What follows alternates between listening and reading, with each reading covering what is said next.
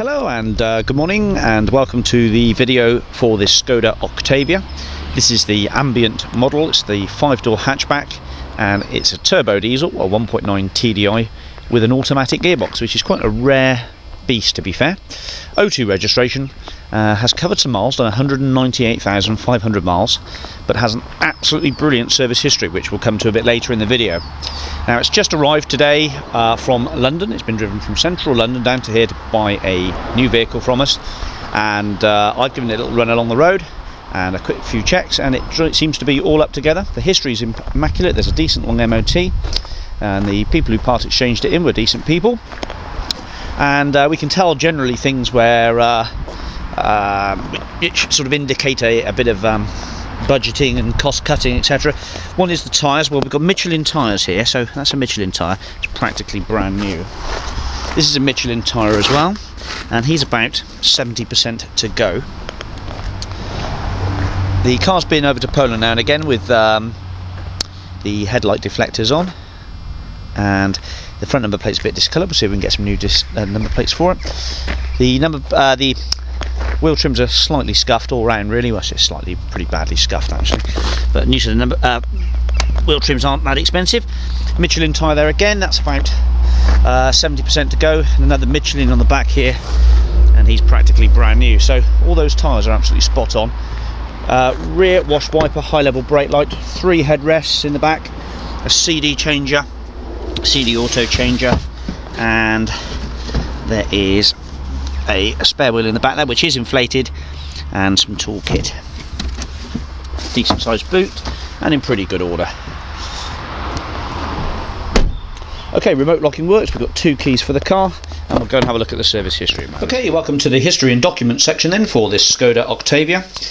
Firstly we've got the V5 showing four keepers in total uh, the last keeper has owned it since uh, uh, August 2009 uh, showing as a Skoda Octavia Ambient TDI Auto diesel car 173 grams per kilometre in silver.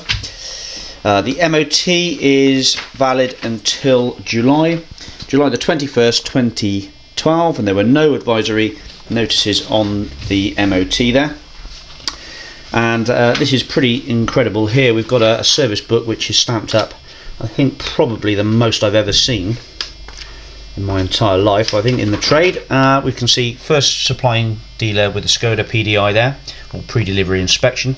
Next stamp then was done uh, what it says next service 20k then we've got uh, 29,000 40,000 59,000 sorry I'm reading from the wrong bit here.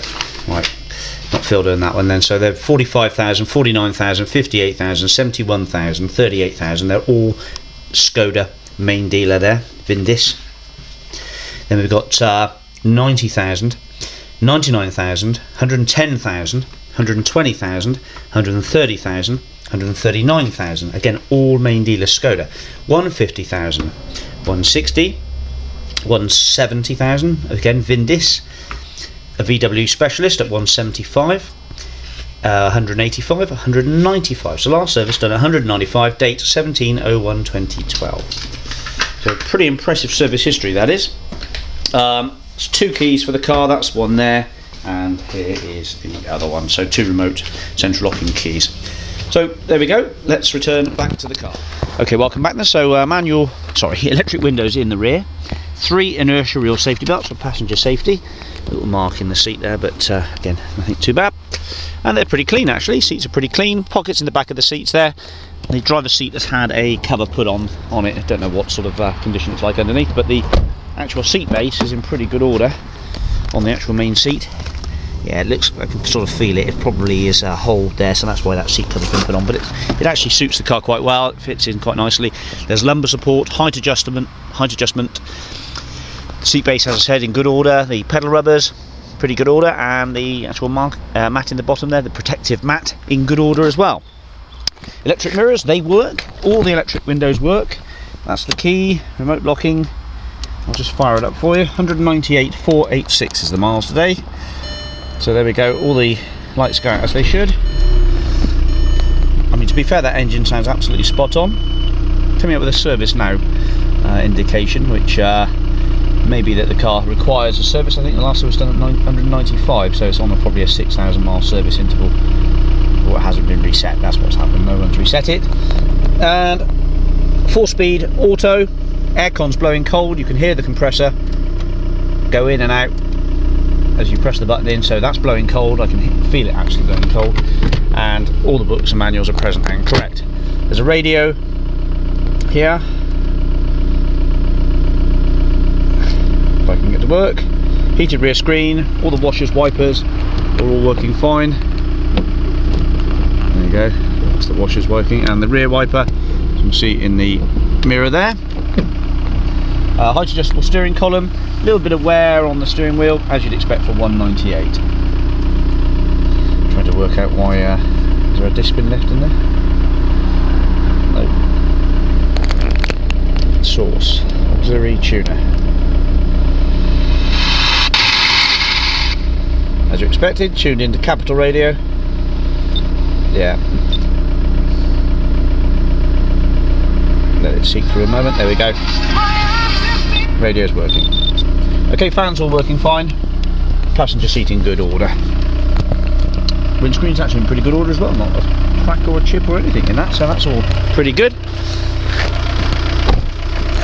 Okay, gearbox is fine. That's changing now nicely. That side there, a few little dimple dents one just here, very minor, fully polished off that little mark there. Running around here, the boot's got uh, has had a knock and just grazed the paint or crazed the paint on the back there.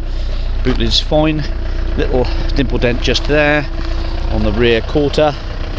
Uh, scuff to the wheel arch has been touched in. Uh, this door here, a little bit uh, of a crease there. Uh, mark to the rear view mirror passenger side and scuff to the bottom of the balance there.